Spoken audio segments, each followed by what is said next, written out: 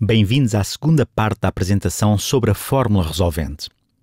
Bem, acho que da última vez vos baralhei um pouco, por isso vamos ver se consigo remediar isso, dando-nos mais alguns exemplos. Vamos começar por rever a fórmula resolvente. A fórmula resolvente diz que se tenta resolver a equação ax mais bx mais c igual a zero,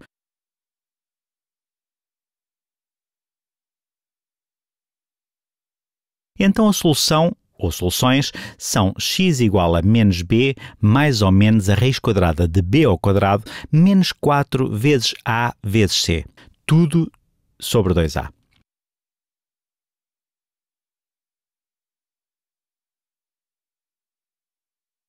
Vamos então resolver um problema e esperemos que isto faça mais sentido. Este é um 2 na parte de baixo. Digamos que tenho a equação menos 9x quadrado menos 9x mais 6 igual a zero. Neste exemplo, o que é o a? Bem, o a é o coeficiente do termo x quadrado. O termo x quadrado está aqui, o coeficiente é 9. Vamos escrever isto. a é igual a menos 9. E o b é igual a quê? Bem, o b é o coeficiente do termo x, que é este termo aqui. Então b também é igual a menos 9. E o c é o termo constante, ou independente, que neste caso é 6. Então c é igual a 6. Agora, vamos substituir estes valores na fórmula resolvente. Portanto, menos b menos vezes menos 9, que é b, mais ou menos a raiz quadrada de b ao quadrado, que é 81, certo? Menos 9 ao quadrado, menos 4 vezes menos 9, certo? Que é A vezes C, que é 6. Tudo isto sobre menos 9, que é menos 18, certo? 2 vezes menos 9, 2A. Vou tentar simplificar isto aqui em cima. Bem, menos menos 9 é mais 9, mais ou menos a raiz quadrada de 81. Vamos ver, isto é menos 4 vezes menos 9. Menos 4 vezes menos 9 dá 36 e 36 vezes 6 é, vamos ver, 30 vezes 6 é 180, depois 180 mais outros 36 é 216 mais 216. Está certo, não está? 180 mais 36 é 216. Tudo isto sobre 2A.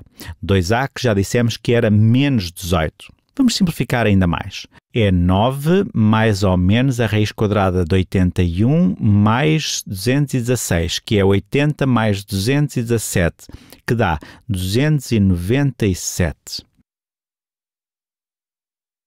Tudo isto sobre menos 18. Agora, esta é a parte mais difícil da fórmula resolvente: simplificar esta expressão.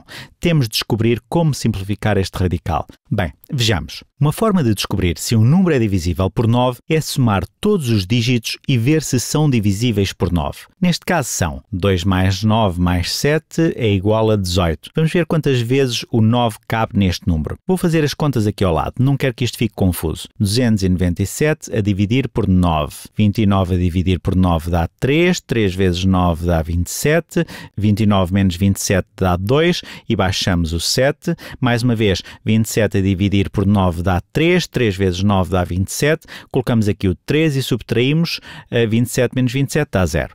Então, isto é o mesmo que 9 mais ou menos a raiz quadrada de 9 vezes 33 sobre menos 18 e o 9 é um quadrado perfeito. Esta é a razão de querer ver se 9 funcionava, porque seria a única forma de o conseguir tirar do radical, só se for um quadrado perfeito. Então, isto é igual a 9 mais ou menos 3 vezes a raiz quadrada de 33. Tudo sobre menos 18. Estamos quase a terminar. Podemos simplificar isto porque 9, 13 e menos 18 são números divisíveis por 3. Vamos dividir tudo por 3.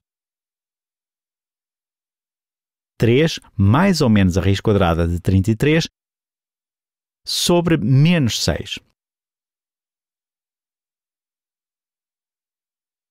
e terminamos.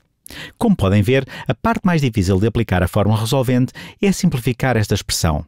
Mas como já vos tinha dito, creio que vocês perderam fio à meada em todas estas contas. Uh, menos 9x quadrado menos 9x mais 6. Encontramos dois valores de x que satisfazem a equação. Um valor de x é x igual a 3 mais a raiz quadrada de 33 sobre menos 6. E o segundo valor é 3 menos a raiz quadrada de 33 sobre menos 6. Devem estar a questionar-se porque temos o sinal de mais ou menos. Temos o sinal de mais ou menos porque a raiz quadrada e menos a raiz quadrada dão o mesmo resultado quando elevados ao quadrado. Vamos resolver outro problema. Esperemos que este seja um pouco mais simples. Vamos resolver menos 8x quadrado mais 5x mais 9. Vou partir do princípio que memorizaram a fórmula resolvente, porque é isso que deviam fazer. Ou escrever então num pedaço de papel. A fórmula resolvente é menos b, b é 5, certo? Estamos a tentar resolver isto igual a zero.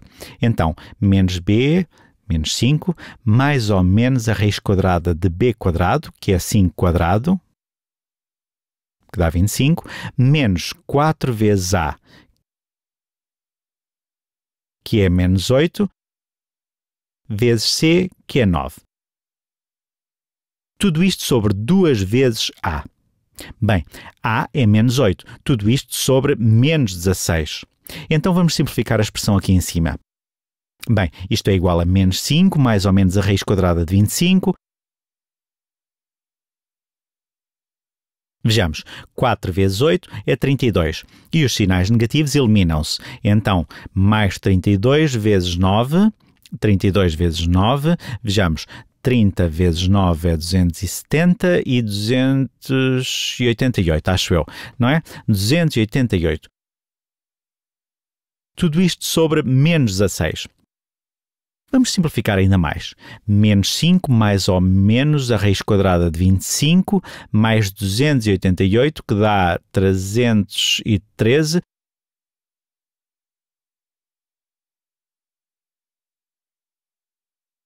Tudo isto sobre menos 16.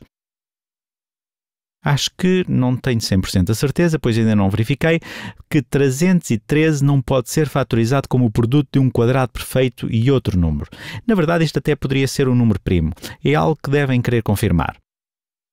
Se for este o caso, temos uma fórmula completamente simplificada e temos duas soluções, dois valores de x, que tornarão a equação verdadeira uma delas é x igual a menos 5 mais a raiz quadrada de 313 sobre menos 16